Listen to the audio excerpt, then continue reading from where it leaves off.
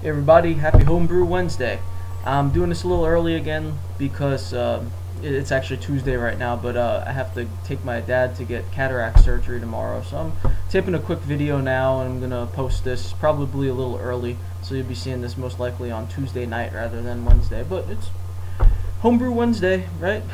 I am uh, I'm also not drinking a beer right now because it's kind of early. I'm waiting for my water to come to a boil for some coffee. Introduce you to Bobo.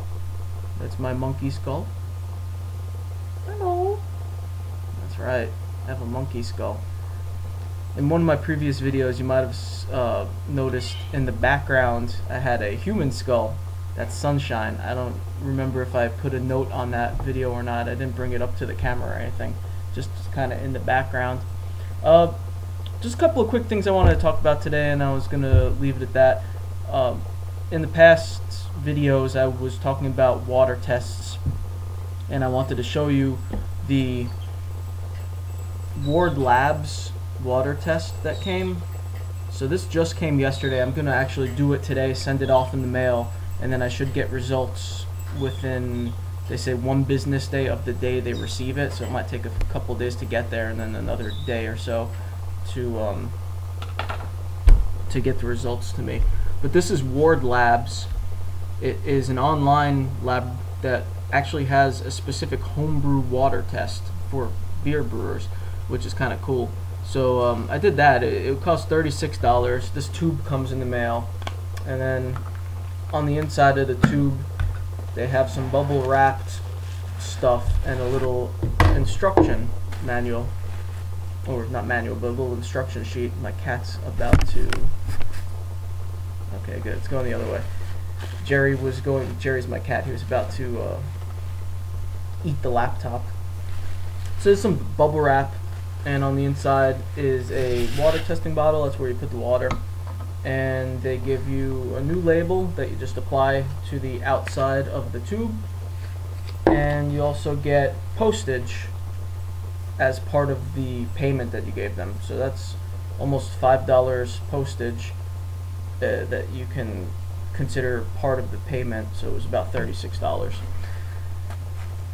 Basically, I'm gonna fill this up with with the water, wrap it in the bubble wrap, put the labels and postage on the tube, pack it all up, and send it off to the lab. And like I said, in a few days, hopefully I'll get the results. That'll have all the information about the mineral content of my water, what's in there, the pH, nitrates, um, uh, hardness of the water, all that stuff. And that'll hopefully give us a little bit of an idea of why some of my beer is tasting the way it does. In addition to the beer tastings that Hat Trick is doing for me and uh, Northeast Brewer is doing for me. They're going to post videos of that stuff. I sent them the cream ale that I was worried about, and some other stuff too. So um, hopefully all of that should give us, give me an idea, give you an idea of what kind of off flavors I was getting and why that might have been. I'm thinking even if the water test comes back and you know there isn't too much of any uh, any particular mineral that might be messing with the brew, I'm pretty sure I'm gonna either switch completely to bottled water anyway or do like a 50-50 sort of deal where the water from the tap that I'm using will be boiled and um, maybe the um, the top off water will be bottled water or something like that. But when I start the all grain brewing, that's going to be you know full boils anyway, so uh, I'm not really sure. I'll, I'll wait for the water test and see what it says that's basically all uh, I have for today. I have two or three videos on the back burner that I've already shot that I've been meaning to post, but I keep putting it off. so those will be coming soon. And otherwise, happy Homebrew Wednesday. I'll see you soon. Say goodbye to Bobo. Bye, Bobo.